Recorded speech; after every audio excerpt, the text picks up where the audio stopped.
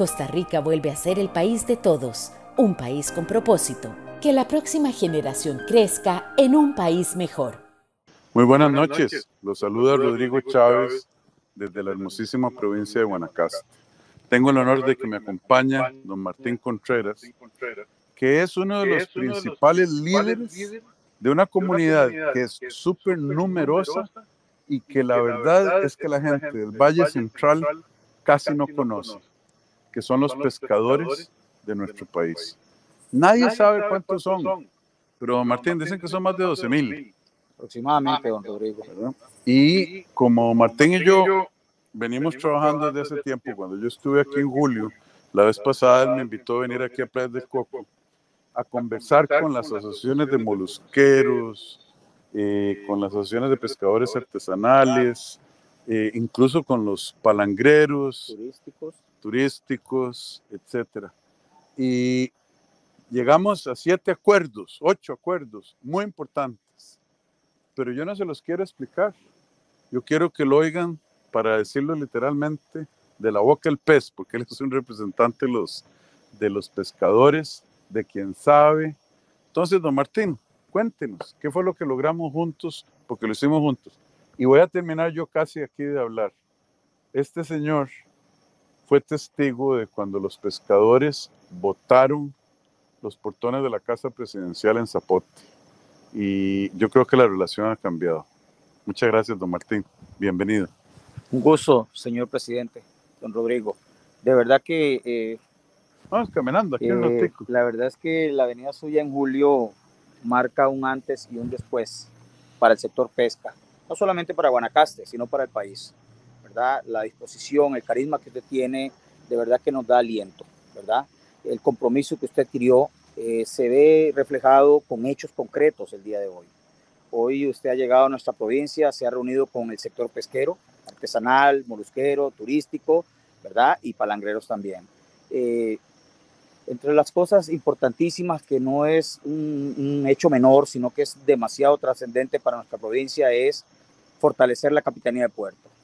Porque la Capitanía de Puerto viene siendo como el RITE de los pescadores. Sin inspección de la Capitanía de Puerto, nuestras embarcaciones no pueden navegar y si no tienen la autorización para navegar, no pueden tener y renovar sus licencias. Hoy eh, tenemos el agrado de recibir esa noticia, ¿verdad? De cuatro funcionarios que nos van a, permitir tener esa fluidez, no solo para el, para el pescador artesanal, sino para el palangrero, para el turístico, para el que trabaja en catamarán, para todas las actividades que tienen que ver con el mar. ¿Cuántos eh, funcionarios se ven en la Capitanía del Puerto antes? Un inspector. Un inspector. Un inspector. ¿Y cuántos años esperaron? Toda la vida. Desde que tenemos Capitanía de Puerto, aproximadamente 25, 30 años. ¿Cómo puede ser eso? ¿Esperando qué? Que hubiera una, un, RITV aquí. Sí, señor. ¿A dónde tienen que ir antes? Eh, no, teníamos solamente un capitán de puerto en Playas del Coco que tenía que atender los 200 kilómetros de costa y a todas las flotas y a todas las actividades que tienen que ver con el mar. Bueno. Pero también una noticia que nos llevó en el pasado a, a ir a San José a tocar la puerta de Casa Presidencial, la cual se nos negó en algún momento y reaccionamos como reaccionamos, era ver la posibilidad de que nuestros pescadores, desde el 2010, que no tenían posibilidad de una licencia, nos referimos a los pescadores artesanales, ahora en enero puedan tener la oportunidad, no solamente de estar a derecho, sino de fortalecer el instituto que tanto lo necesita para tener esa credibilidad que se necesita en este país. El instituto es Incopesca. Incopesca. Sí, señor, instituto de Pesca, correcto.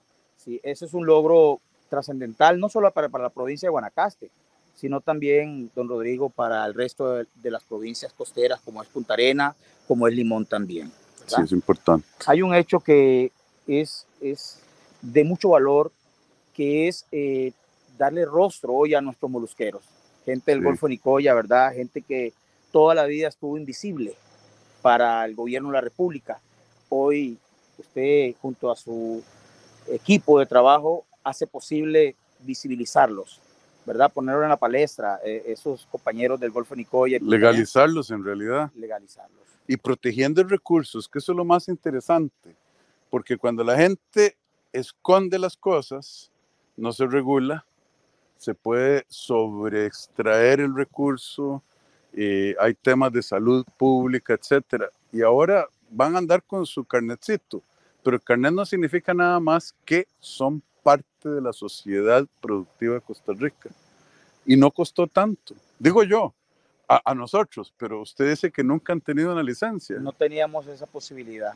De verdad que la avenida suya, como dije al principio, en julio ha marcado un antes y un después, ¿verdad?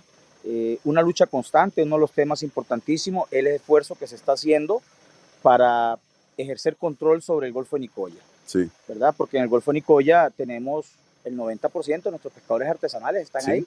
Entonces necesitamos tener una pesquería regulada como tiene que ser. Y sé, porque he estado en reuniones y hoy se nos dijo, hay una inversión importante para fortalecer a guardacosta, ¿verdad? A través del crédito del Banco Mundial, 1.200 millones más o menos de colones.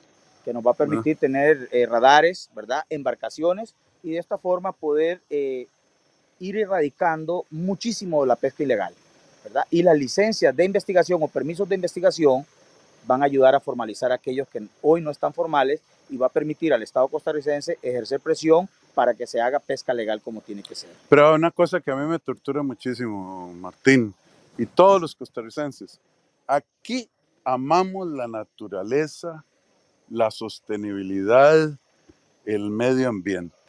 Pero hay un grupo de gente que nos quiere vender lo que yo llamo la falsa dicotomía, que es una falsa dicotomía, que no se pueden explotar los recursos naturales, incluyendo el mar, la pesca, y al mismo tiempo hacerlo de una manera sostenible. Eso es falso.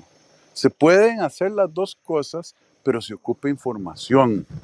Yo le, en términos técnicos, ¿cuál es la tasa de extracción óptima de la biomasa del Golfo de Nicoya?